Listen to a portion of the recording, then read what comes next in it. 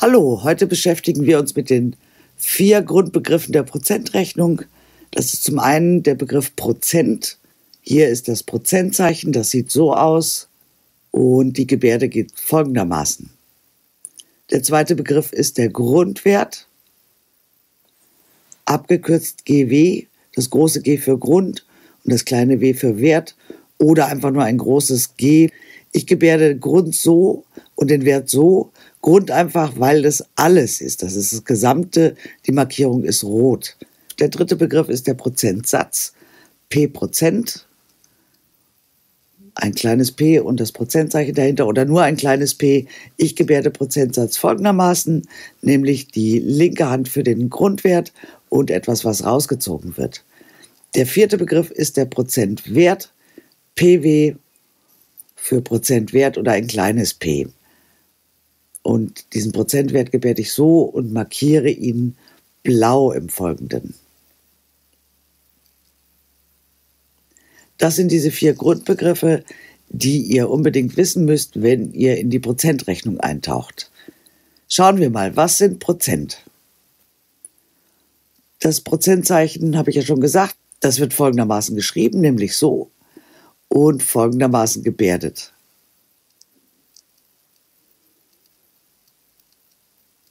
Und was bedeutet das jetzt? Prozent kommt aus dem Italienischen und bedeutet übersetzt pro 100. Auf der linken Seite seht ihr ein Quadrat. Dieses Quadrat wurde in 100 gleich große Mini-Quadrate eingeteilt. Hier seht ihr das Quadrat. Das sind 10 mal 10 Mini-Quadrate, also 100 Mini-Quadrate insgesamt. Und ein Quadrat wurde davon dunkler gefärbt, nämlich das hier.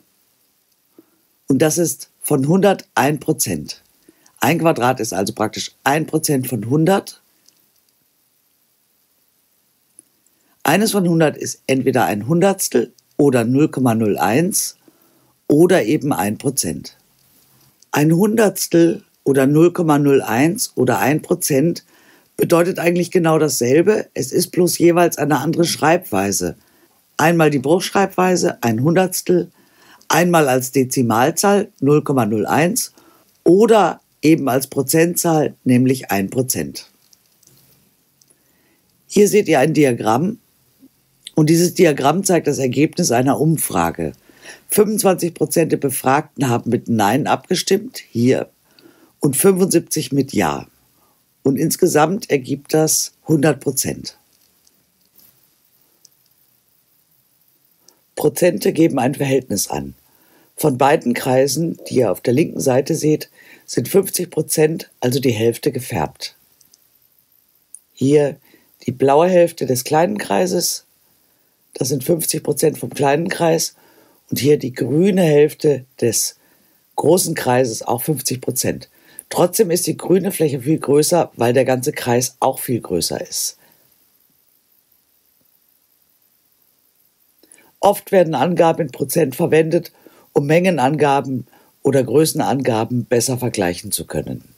Soweit zu der Erklärung, was Prozent sind. Und jetzt kommen wir zu den drei Grundbegriffen der Prozentrechnung.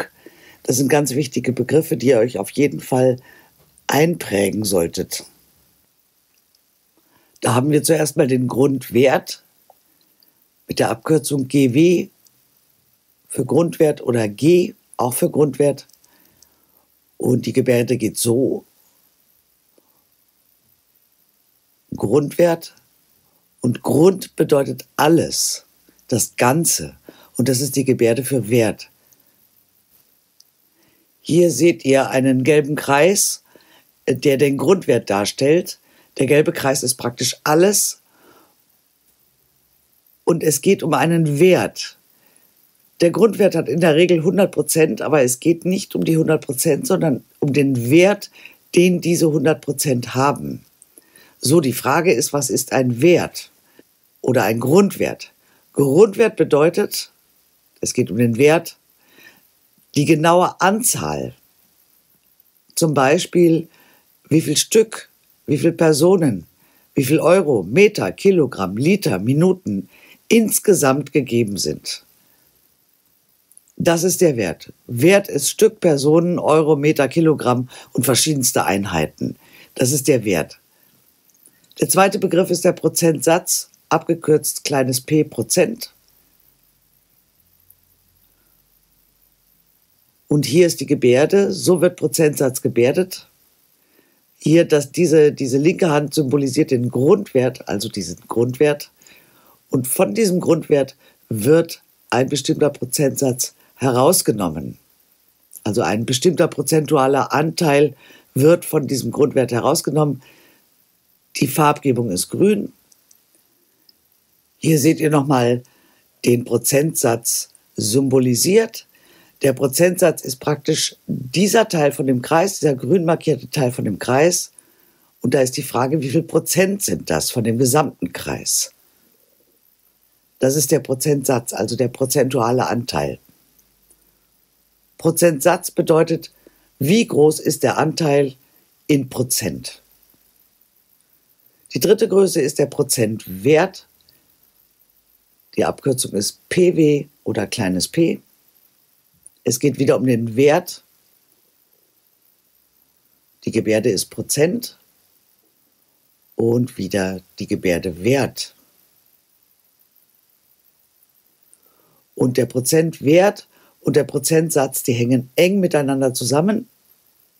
Der Prozentwert ist nämlich der Wert von diesem Anteil, der im Prozentsatz ausgedrückt ist. Ihr seht, das ist der gleiche Wert, das ist die gleiche Größe, nur nicht in Prozent, sondern Prozentwert bedeutet die genaue Anzahl, zum Beispiel wie viel Stück, wie viele Personen, Euro, Meter, Kilogramm, Liter, Minuten des Anteils. Also dieses Anteils. Hier ist der Anteil in Prozent und hier ist der Wert des Anteils. Bei dem Prozentsatz brauche ich das Prozentzeichen und bei dem Wert brauche ich Stück, Minuten oder sowas. Genauso wie beim Grundwert. Der Grundwert ist fast immer 100 Prozent. Nehmen wir mal ein Beispiel. 100 Prozent sind 80 Euro. Das ist alles. Das ist die gesamte Menge. Dann dieser Anteil in Prozent. Das ist ein Viertel. Das sind 25 Prozent. Das ist der Anteil in Prozent ausgedrückt von dem Ganzen.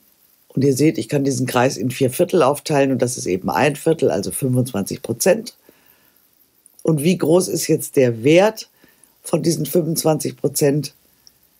Der wäre 80 geteilt durch 4, also 20 Euro.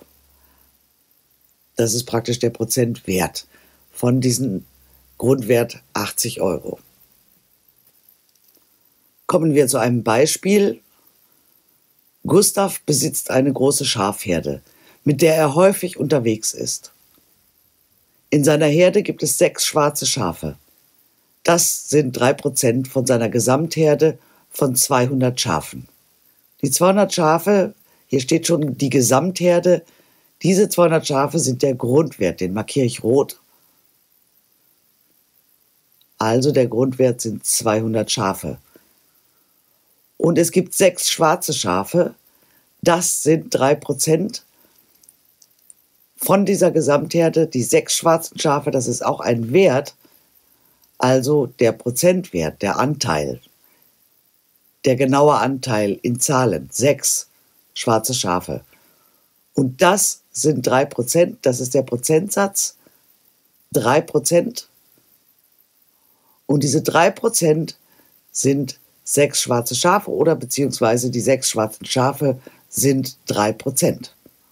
Und diese drei Prozent, das sind eben drei Prozent von der Gesamtherde.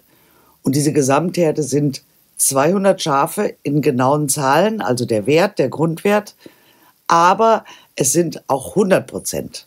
Also von den 100 Prozent Gesamtherde sind drei Prozent der Schafe schwarz. So, ich hoffe, ihr habt die Unterschiede zwischen diesen Begriffen verstanden. Und in dem nächsten Video machen wir noch ein paar Beispielaufgaben zusammen. Und bis dahin wünsche ich euch viel Spaß. Tschüss!